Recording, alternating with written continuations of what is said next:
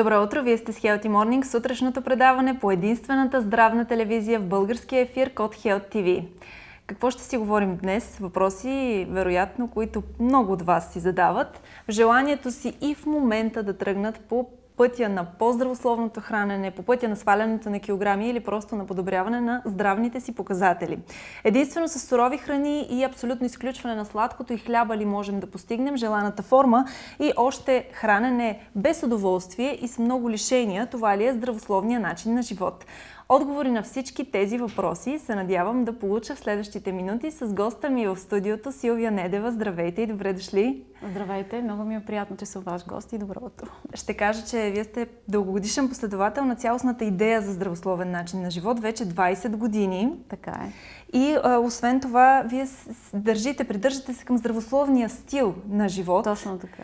Както зрителите ни вероятно виждат и с една прекрасна новина, бременна в началото на 8 месец, честито. Да, благодаря много. Дано всичко да мине леко, всичко да мине по вода. Вие нямате проблеми, нямате притеснения да говорите относно а, всичко свързано с бременността и за това ще започна именно с а, този въпрос. По-леко ли протича, когато вие сте привърженик на здравословния стил на живот и в крайна сметка от 20 години не само се храните, но и живеете така? Аз лично смятам за себе си, че ам, именно благодарение на факта, че вече 20 години, а и малко повече, вероятно, станаха, а, действително съм много ревностен последовател на идеята за това да се води един целесообразен начин на живот, в който а, не само храненето се включва, разбира се, а, активна спортна дейност. И смятам, че това е една от причините, поради които към днешна дата бих казала не само лека, абсолютно безпроблемна бременност. В началото на 8 месец аз мога да кажа, че нямам абсолютно никакви а, състояния, които са свързани, типично се свързват с бременността, като а, да се чувстваш отпаднал, да имаш гадене, повръщане. Отдавате ли го точно на, на начина на живот, на спазването Вижте, на някакви определени правила? Когато, а, когато забременеш по естествен начин на 40 години, когато на теб ти се е поискал да се случи това. И след това 8 месеца тази бременност протича съвсем леко, без никакви отклонения, дори в кръвната картина. Не говорим само дори като усещане как се усещаш. смятам, че това последното нещо, на което се дължи е късмет. Понеже си споделяме с близки, с познати, много често се казва, че е голям късмет човек да има такава бременност. Аз смятам, че на 40 години не е толкова късмет колкото действително е в резултат на а, грижите, които преди това бъдещата майка е положила за себе си. И всъщност това е периода, в който а, тялото е изложено на много големи предизвикателства. По време на цялата бременност а, всички органи и системи работят доста натоварено. Бъбреците да, работят. Разбира се, за всяка жена е предизвикателство. Вие казвате на 40 години. Mm-hmm. Това много често се цитира като рискова възраст за зачеване и за раждане. И аз съм чувала така преди да, преди да се случи с мен да забременея. Даже толкова много лоши неща съм слушала, че когато се случи в началото, дори не можах да се зарадвам истински, защото започнах да си припомням всичко това, което съм слушала в годините. А, бих казала, че в последните години това, което изчетох напоследък, медицината по-скоро говори не за рискова бременност от гледна точка на възрастта, а говори за рискова бременност от гледна точка на състоянието на, на, на здравето на майката. И всъщност, ако една бременност се свързва за рискова само защото тя е в по-напреднала възраст, 35-40 и нагоре, то е защото се смята, че до тази възраст вече женски организъм е започнал да устарява, репродуктивните сили да отслабват.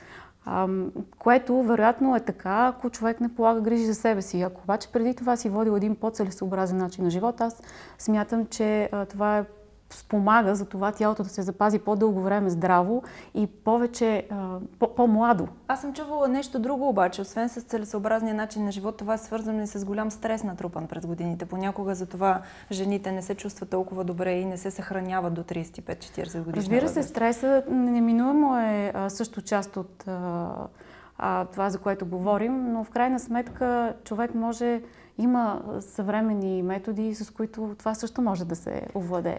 Така е, а и най-вече да наистина да пазим себе си, да мислим за себе си. Казвате рискова възраст, но двойките като че ли все повече взимат решението, не е само въпрос на късмет, не е само въпрос на обстоятелства, а обмислено решение mm-hmm. това да се случи на по-късен период, на по-късен етап от време. Да. Какви са вашите наблюдения и защо е така?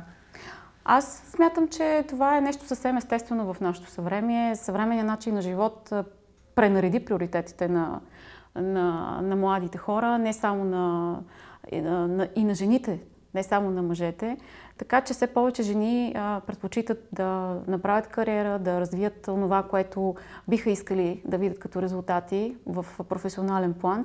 И след това, разбира се, и при подходящ партньор да реализират този проект, който е един от най-важните семейства. Естествено, знаете ли, в здравната телевизия Код Хелт ние много често говорим и с гинеколози, и с хора, които са до жените, от момента в който забременеят до момента в който родят и тяхното мнение обаче не е такова. Те пък казват, важна е кариерата, но е важно жените да знаят, че до 30-35 годишна възраст е хубаво, много е важно да са родили, защото след това нещата стават по-трудни. Моите наблюдения са по-различни, дори по отношение на това как се износва плода хората, които имат повече затруднения и предизвикателства по време на бременността, не е задължително да са 40 и нагоре. Все повече момичета изпитват затруднения и, и имат трудности по време на бременността на много по-млада възраст, 25-30 години. А пък това, кога ще предприема тази крачка, според мен е това е, зависят много, много фактори от това. Със сигурност не е просто защото си станал на 30 или на 35 и трябва да родиш. Аз така мисля. Да. Да, да им дадем малко съвети сега и за здравословен начин на живота. Аз започнах в анонса м- с това, че често когато чуем, да. м- така говорим за здраве, за диети, за хранителни режими, mm-hmm. под много различни варианти и версии са, малко се стряскаме вече. Да, звучи стряскащо. Звучи стряскащо, за да започнем диета или да започнем хранителен режим. Означава ли това да се лишаваме непременно от всичко, което сме обичали да си хапваме до момента, което много често за дамите е сладко или тестени изделия? Мисля, че на първо място трябва да заменим думата режим с стил.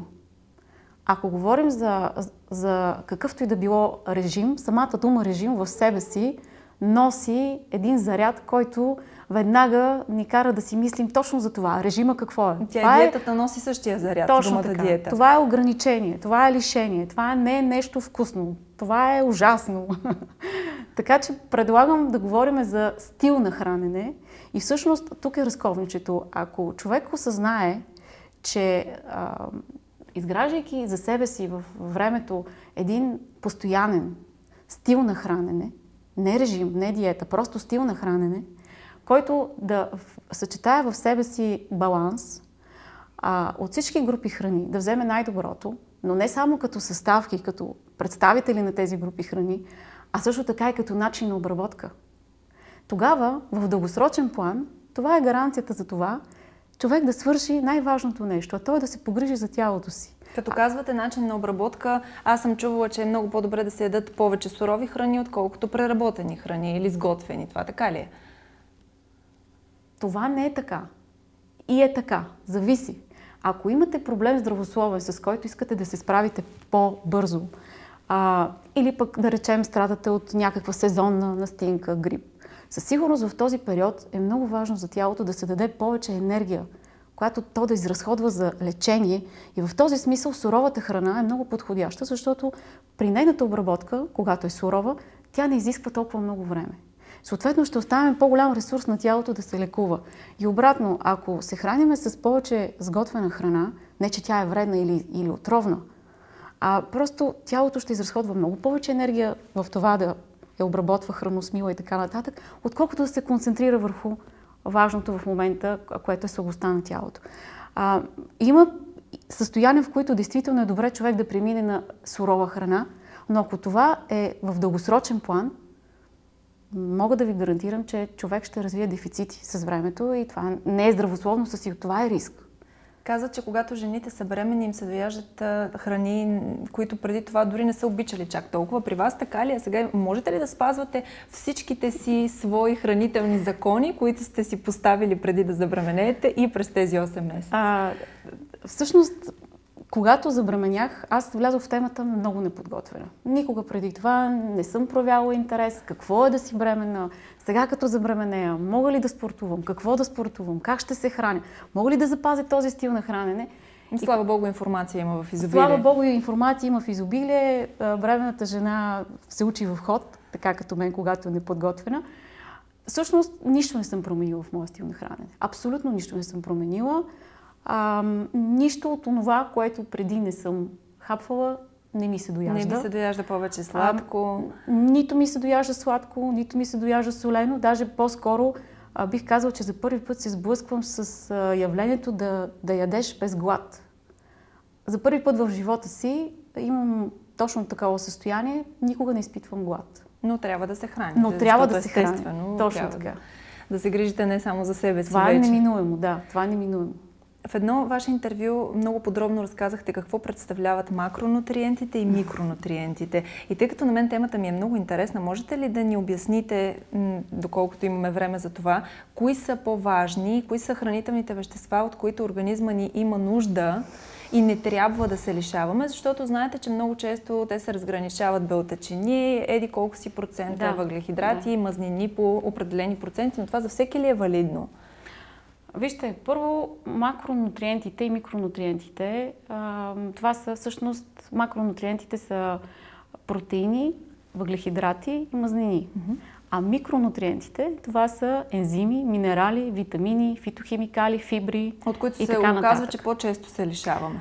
А, последните години медицината доказа, че основната причина, поради която се развиват заболявания, е именно поради дефицит на микронутриенти в тялото, защото, както разговорно наричаме, макросите, много трудно човек да, да сбърка с тях. Винаги ще набавите необходимите макронутриенти. Сега дали ще бъде в правилната пропорция, това е различно, друг разговор. Но ние говорим в момента за това, че когато има дефицит на микронутриенти в дългосрочен план, тогава вече в тялото действително възникват заболявания. И всъщност съвсем наскоро Световната здравна организация преди няколко години излезе с едно твърдение, което казва, че 65% от заболяванията, които в момента са разпространени, биха могли да бъдат предотвратени точно с промяна в стила на хранене и точно когато се обърне внимание на тези микронутриенти, защото те се намират основно в растителната храна. Не искам да пропагандирам, аз не съм против животинските продукти, животинската храна. Просто Вие казвам... ли месо? Аз лично не ям месо. Единственото, което консумирам като животински продукти, това са морските храни, риба понякога и сега в периода на бременност сурови жълтъци от път пъдък може да, да взривя, предполагам, някои лекари. Защото... Сурови жълтъци да, от път пъдък. Да, да. А защо да ги взривите? Не е ами защото по принцип ли? за бременната жена, поне в нашите ширини, това, което се препоръчва е нищо сурово.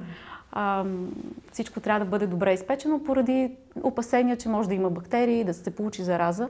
Но, например, в пътпадъчите яйца там няма салмонела и освен това в жълтъка е концентрирана цялата Вселена. Аз лично давам на факта, че има много добри стойности на желязо и на, а, на хемоглобин, които са много важни по време на бременност, именно благодарение на жълтъците. Тоест, по-големия проблем е неправилното хранене, неправилното поглъщане на храна, която да е богата на микронутриенти, Точно на витамини, така. на ензими. Точно така. Всъщност, здравословното хранене не е обвързано с това дали изключваме, понеже вечният спор е за или против месото, за, а, да бъдем вегани или да не бъдем вегани. Затова натам а, се опитвам да Да, а, да, да, да, да, направя да се концентрираме ли върху да. въглехидратите или да ядем само месо с салата, за да свалим килограми? А, Опитвам се да кажа, че здравословното хранене не е във функция от това дали изключваме месото или го включваме, дали, дали сме напълно вегани или не, защото има хора, които са пълни вегани и се хранят много нездравословно и обратно хора, които консумират месо, но те го правят с, а, в, а, как да кажа, има определен ред. А, с мярка. С мярка, разбира се. И такива хора които имат информация, че трябва да включват много растителна храна. Всъщност това е най-добрата превенция. А, дори да човек да се храни с месо или да прекалява понякога с някои храни, задължително той трябва да знае, че в дневния прием той трябва да приема много големи количества серио, а, а, сурови плодове, зеленчуци. Трябва да приема фибри под формата на... Нямам предвид фибрите, които се продават в различни пакети. Имам предвид фибрите в самата храна, както ги е създала природата, в ядките, в семената, в бобовите култури. Ако това човек се умее да го направи, той може да си създаде един балансиран стил на хранене, за който и в началото говорихме. Достатъчно ли поставя плодове и зеленчуци на масата си българинът? Аз лично смятам, че не. На какво се дължи това? То е интересно, може би в традициите един до някъде е закодирано, пък да се храним с повече плодове, с повече зеленчуци, храна от градината, която си отглеждаме ние или напоследък не наблюдавате това? Моите наблюдения са, че хората със сигурност не започнаха да се хранят по-здравословно, но започнаха да търсят по-чист происход на храните, което е добра крачка. Това непременно ли е свързано с био, еко храни, да отидем на конкретния штант в магазина и само там да си пазаруваме? Ако питате моето мнение, смятам, че не е задължително един продукт да носи етикет био, за да бъде здравословен или, или да не бъде такъв. И ще ви дам пример. Все повече се появяват продукти на пазара, които, използвайки биолинията, да речем, без да се извинявам на такива продукти или производители, те създават всъщност биоджанк фуд.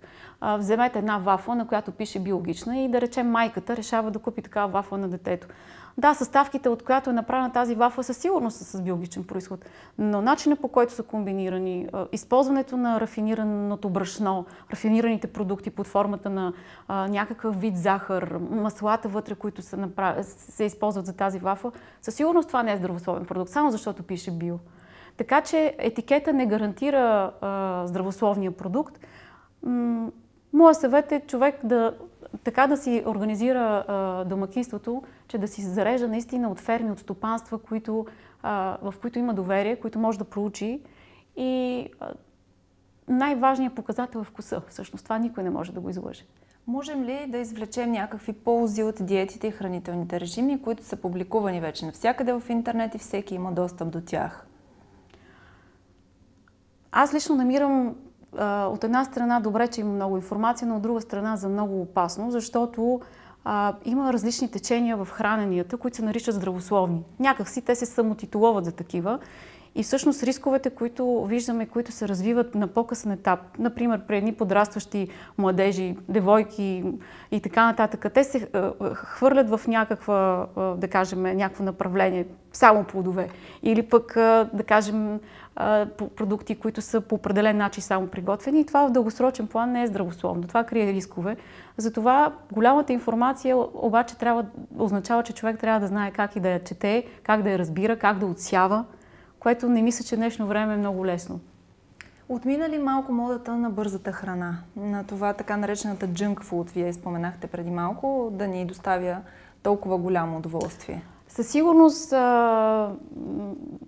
отмина в, в Европа. В България мисля, че все още, все още има доста почитатели на българската храна и това е най-вече се наблюдава сред а, така тинейджерите, подрастващите. Това е и техния начин също което така. въобще не е добре. Това не е добре. Това е техния начин всъщност да се бунтуват срещу това, което се опитва някой да, да им каже, че е по-здравословно и по-добро. Изобщо думата здравословно съм забелязала просто и от опит около мен, моите близки познати, близки приятели, като се каже тази дума и някакси веднага се получава една вълна, която не искам да слушам за това сега. Това не ми е интересно, скучно ми е здравословно. Просто а, натоварено е с едно очакване, точно това, което казахте ви от, в началото, с лишени ограничения. Всъщност да. това, това не трябва да е така. Да, и пак стигаме до въпроса, в крайна сметка, ако искаме да изготвим един индивидуален режим за това дали да сме по-здрави или да изглеждаме по определен начин, необходимо ли е на всяка цена да изключим шоколад, или хляб, или нещо друго, което по принцип би ни навредило.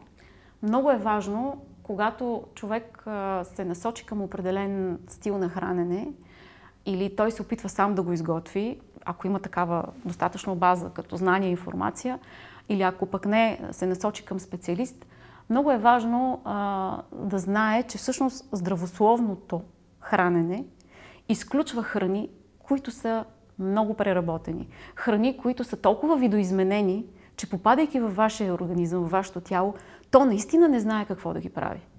И това са всички тези храни, които бяха много модерни, които са в опаковки, които са преработени с много консерванти, с много добавки, с много изкуствени подсладители, отцветители и така нататък.